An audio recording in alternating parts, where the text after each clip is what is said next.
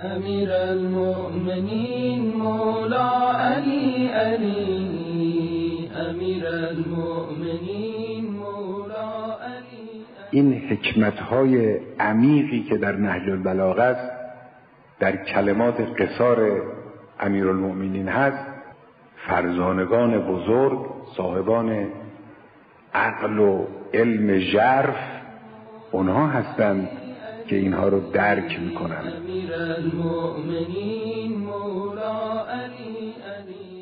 آینه تربیت خطبه پاکی و وفا آینه نور خدا مرهم درد مصطفی. اوست نگین حل عطا اوست نگین حل عطا. بسم الله الرحمن الرحیم. اللهم صل علی محمد و آل محمد.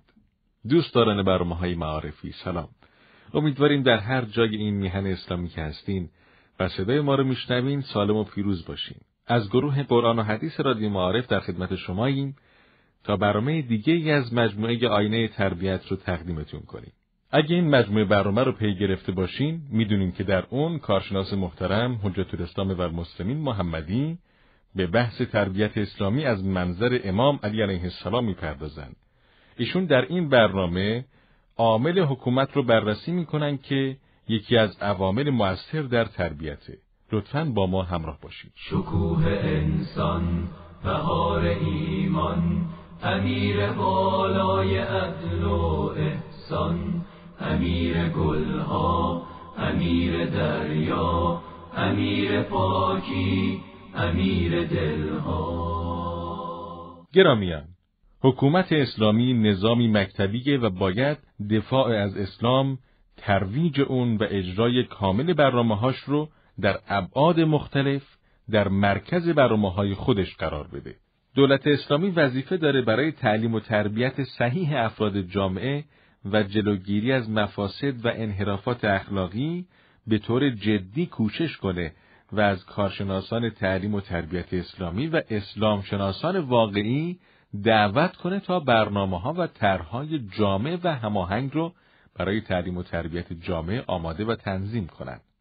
کارشناس محترم حجت الاسلام و المسلمین محمدی در نخستین بخش از سخنانشون این بحث رو بیشتر توضیح میدن. خدمت دوستان عزیز شنونده عرض سلام و ارادت دارم. موضوع بحث ما در عوامل مؤثر در تربیت بود یکی از اموری که خیلی در تربیت اثر داره عامل حکومت و اون نظام سیاسی حاکم بر جامعه که هم وجدانن اثر داره. تجربه همین مطلب رو ثابت می‌کنه. در متون روایی ما هم فراوان مشاهده میشه. چنانچه در یک تحلیل عقلی هم انسان به همینجا می‌رسه. مخصوصا در نظام در کسی که بخواد تعلیم و تربیت اسلامی رو پیاده بکنه. خب اگر بنا باشه جامعه جامعه اسلامی باشه و تربیت اسلامی بخواد حاکم بشه نمیشه که حکومت اسلامی نباشد اما تربیت اسلامی محقق بشه. خب یکی از راه های تربیت یکی از روش های تربیت یکی از اموری که در تربیت خیلی مؤثره در اینکه جامعه از بزهکاری دور بشه و جامعه به سمت صلاح و ادب حرکت کنه. خب این مسئله مسئولیت متقابل مسئولیت جمعی و به تعبیر دقیقتر مسئله امر معروف و نهی از منکره که انقدری که این مسئله در تربیت جامعه و در جلوگیری از جرم و بزه و گناه اثر داره شاید کمتر عاملی انقدر قوی باشه. خب امر معروف از منکر در جامعه ممکنه که قدرتی باشد پشت اون عامل معروف و ناهی عن المنکر. وگرنه کسی که حکومت از او حمایت نکنه و پشتیبانی نداشته باشه که ارز کنم که از او دفاع بکنه خب نمی‌تونه امر معروف از منکر بکنه. یا اینکه خیلی در, در حد خیلی ناچیز می‌تونه این کارو بکنه. همینطور بحث جهاد و سایر مباحث دیگه که هست که اگر حکومت نباشه بخش قابل توجهی از اون از کنم که امور تربیت کننده و انسان ساز که در نظام های مثل نظام اسلامی اومده اونها خود به خود کنار گذاشته میشه. امام جمعه وظیفه داره که مردم رو در هر خطبه یک بار به تقوا دعوت کنه یعنی تربیت کنه. یعنی مردم بگه گناه نکنید. ملکه تقوا رو کسب کنید. خب اون سرزمینی که حکومتی باشد که امام جمعه رو نصب کرده باشد و اگر حاکم اسلامی نباشه که نماز جمعه نمی‌تونه وجود داشته باشه. به هر حال از این حیث هم که انسان نگاه می‌کنه ببینه که حکومت در تحقق تربیت یا از بین بردن تربیت نقش بسیار حساسی داره. وقتی که ما ارزیابی می‌کنیم کار پیامبران رو ملاحظه می‌کنیم که برخی از پیامبران در کار تربیتیشون به شدت موفق بودن و بعضی ها نبودن موفق.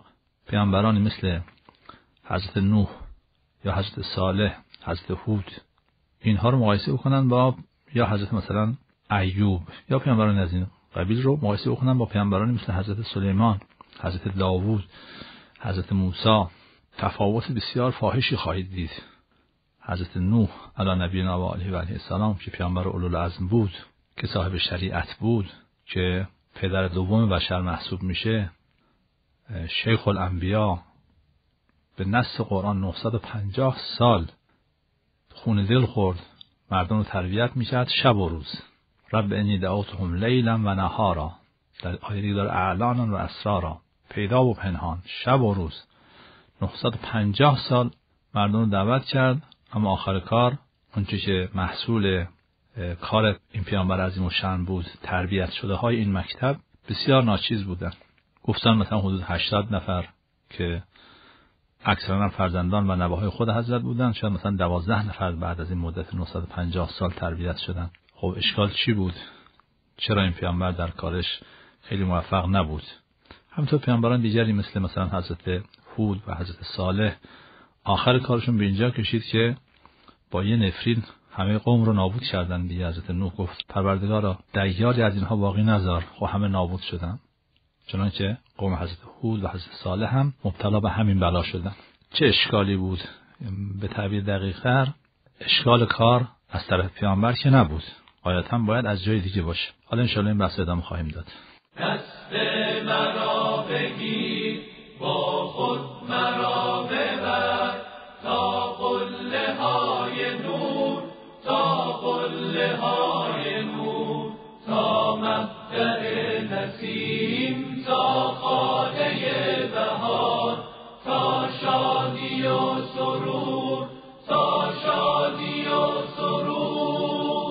فریختگان گرامی. همچنان از رادیو معارف با برنامه آینه تربیت همراهتون هستیم. امیر مؤمنان حضرت علی علیه السلام درباره وظایف حکومت می‌فرمایند من بر شما حق دارم و شما هم بر من حق دارید. اما حق شما بر من این است که شما را نصیحت کنم قنایم را بین شما درست تقسیم کنم در تعلیم شما اقدام کنم تا حدی که جاهل نباشید و شما را تعدیب کنم تا علوم را فرا گیرید.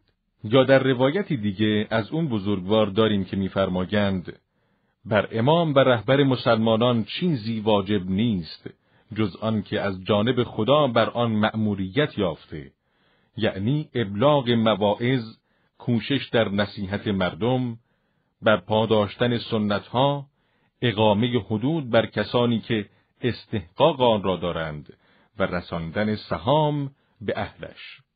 دوستان در این مجال ادامه سخنان استاد محمدی رو درباره نقش حکومت در تربیت میشنویم. از کردیم که وقتی انسان دقت می‌کنه می‌بینه که بعضی از پیامبران در کار تربیتشون توفیق چندانی نداشتن. مثل حضرت نوح، حضرت هود، حضرت صالح. از اون طرف بعضی ها به شدت موفق بودن. مثل حضرت سلیمان. حضرت سلیمان علی نبی و علیه السلام با یک نامه چند کلمه ای نیم سطری یک کشور رو مسلمان کرد و در واقع تربیت کرد. انه من سلیمان انه بسم الله الرحمن الرحیم. الله تعالی علیه و اتونی مسلمین. تسلیم بشید تسلیم حق بشید. برتری جویی نداشته باشید تسلیم بشید. همین. این باعث شد یک کشور مقتدر متمدن و ثروتمند با همین نامه مسلمان بشن و تربیت بشن و همینطور حضرت داوود پدر حضرت سلیمان یا نسبت پیامبر خودمون پیامبر اسلام. سیزده سال در مکه شب و روز پیامبر تلاش می‌کرد برای تربیت قوم خودش قوم خیش خودش چون قریش اقوام پیامبر بودن. اما سرانجام ناچار شد بعد از سیزده سال شبانه از مکه فرار کنه تا کشته نشه. و تعدادی هم که در این مدت مسلمان شده بودن شاید مثلا به صد نفر نمی رسیدن حالا با کم و زیادش. ولی همین پیامبر وقتی که تشریف بردن مدینه یک باره به طور جهشی کار پیشرفت کرد. در کمتر از 6 7 سال پیامبر تونست به همه قدرت های جهانی نامه بنویسه. به امپراتور روم شاهنشاه ایران مصر هیره یمن شام به همه اینها نامه نوشت و آنها را دعوت به اسلام کرد. چرا پیامبر اسلام در اون سیزده سال در کار تربیتیش خیلی موفق نبود؟ در این ده سال اخیر به شدت موفق بود. رمزش اینه که در اون ده سال دوم حکومت تشکیل داد نظام سیاسی داشت قدرت داشت و این قدرت تربیت رو به شدت تو جامعه پیش بود اما اون سیزده سال قدرت نداشت. حضرت سلیمان حکومت داشت حضرت داوود حکومت داشت ولی حضرت نوح حکومت نداشت. حضرت لوط حکومت نداشت. وقت ناچار شد بی تربیت های مردم رو با اون شکلی که در قرآن اومده باش برخورد بکنه. به هر حال اینجا رو که انسان وقتی نگاه می‌کنه می‌بینه که نقش حکومت در تربیت یک نقش بسیار برجسته است طوری که اصلا قابل قیاس نیست با اون زمانی که حکومت نباشه. این عدم پیشرفت ها در کارون پیامبرانی که از کردیم مثل حضرت لوط و حضرت نوح و حضرت هود و حضرت صالح و خود پیامبر بر نمیگرده شخصیت حضرت نوح از شخصیت حضرت سلیمان بالاتره. حضرت نوح پیامبر اولوالعزم صاحب شریعت حضرت سلیمان صاحب شریعت نیست اولوالعزم نیست. مقام حضرت نوح بالاتر است. اما چون قدرت نداره آخر کارش به نابودی همه قوم و بی نتیجه موندن تلاش های 950 ساله شبان روزی و پیدا و پنهانی شد. وقتی که قدرت باشین اتفاق نمیفته و کار تربیت با جهش و سرعت زیادی پیشرفت می‌کنه خب این مقدمه بود در اینکه حکومت و قدرت سیاسی نقش فراوانی در تربیت جامعه داره. حالا اینکه این تربیت جهت مثبت داشته باشه یا منفی برمیگرده به ماهیت اون حکومت. اگر حکومت حکومت الهی باشه تربیت میشه تربیت الهی. اگر حکومت حکومت صالحی باشه متربیانش صالح خواهند شد. و اگر حکومت حکومت ناصالح باشه حکومت تاغوتی باشه طبعا اون خروجی هاش هم ناصالح و غیر تربیت شده خواهند بود. ولی به هر حال تاثیر میپذیرن. الناس علادین ملوک به هر حال تاثیر میپذیرن و تاثیر هم خیلی زیاده. یه فرمایش نورانی از امیرالمومنین السلام داریم که فرمودن الناس به عمرائهم اشبه منهم به آبائهم. مردم به حکامشون و به رهبرانشون شبیه ترند تا به پدر و مادرانشون. یعنی عامل حکومت از منظر امیرالمؤمنین مؤثرتر است از عامل ژنتیک و وراست الناس به عمرائهم اشبه منهم به آبائهم مردم به رهبرانشون به حکامشون به عمرائشون شبیه ترند در شاکله نفس در شکل, شکل شخصیتیشون و اون شاکله تربیتیشون به حکامشون نزدیکترند شبیه ترند تا به پدران و مادرانشون. خب مراد حضرت این نبود که مثلا فرض کنید که اگر حاکمشون فرض کنید مثلا سفید پوسته اونها هم حتما سفید پوست میشن. ولی اینکه پدر مادرشون سیاه پوست باشن نه. از این حس که کسی پدر مادر سیاه پوست باشن حتما او هم به احتمال زیاد سیاه پوست خواهد شد. پس از چه حیث اینها به عمرائشون شبیه ترن؟ از حیث تربیت از حیث اون شاخصه های تربیتی. اگر حاکم الهی است مردم هم الهی میشن ولی اینکه پدر و مادرشون الهی نباشن. اگر حاکم خوش اخلاق خلیق به اصطلاح. اگر حاکم اهل عبادت مردم هم عبادت کننده خواهند شد ولی اینکه پدر و مادرشون هم اهل عبادت نباشند یعنی نقش تربیتی حاکمان و عمرا و رؤسا از نقش تربیتی پدران و مادران به نظر مولا بیشتره. ما انشالله در برنامه های آینده فرمایش دیگری از مولای متقیان امیرالمومنین علیه السلام رو خدمت دوستان خواهیم خون تا نقش حکومت در تربیت رو بیشتر مورد مداقه و بررسی قرار بدیم.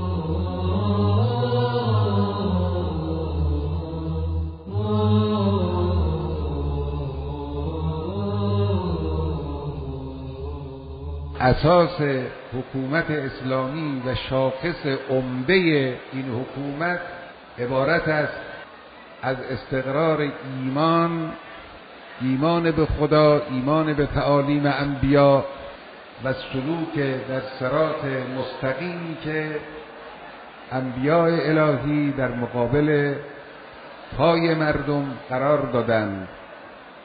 اساس ایمان است فرستادن پیامبران الهی برای هدایت انسانها و ایجاد جوامع دینی و الهی در طول تاریخ تا امروز در درجه اول برای این مقصود است. لذا میفرماید انا ارسلناک شاهدا و مبشرا و نذیرا لتؤمنوا بالله و رسوله. و تعذروه و توقروه و تسبحوه بکرتا و اصیلا. یعنی هدف از فرستادن پیغمبران الهی ایمان به خدا دلبستن به ذات الهی و راه الهی و دلبستن به اون تعالیمی است که انبیاء الهی به انسان تعلیم داده اند این در سوره مبارکه انا فتحناست در سوره مبارکه احزاب میفرماید انا ارسلناک شاهدا و مبشرا و نذیرا و داعیا الی الله رسالت پیغمبر دعوت به خداست. این اساس کار است. اون چیزی که به عنوان شاخص میان نظام اسلامی و جامعه اسلامی و همه جوامع بشری وجود دارد در درجه اول این نکته است. مسئله ایمان به خدا ایمان به غیب ایمان به راهی که خداوند متعال در مقابل بشر قرار داده است برای سعادت دنیوی و اخروی انسان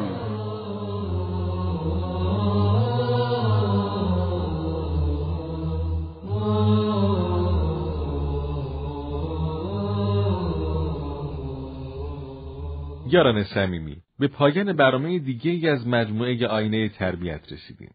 در این برنامه به توضیح یکی از عوامل مؤثر در تربیت با عنوان حکومت از دیدگاه امیر مؤمنان علی علیه السلام پرداختیم. از همراهیتون با این برنامه صمیمانه سپاسگزارم. شماره تلفن های 329 ده 551 و 329 ده 552 با پیش شماره 025 و شماره پیامک 30553 راه های ارتباطی شما با رادیو معارف و برنامه آینه تربیته. با این امید که همواره ما را از نظرهای سازنده خودتون بهره مند کنین همگیتون رو به خدای بینیاز میسپارم. خدا نگهدار التماس دعا. ای دل همه بهتر با مهر علی سازیم. جان در ره این مقصود مردان در اندازیم. در حلقه مستانش با نظم هم آوازیم با نظم هم آوازیم. هر کس به کسی نازد ما هم به علی نازیم ما هم به علی نازیم.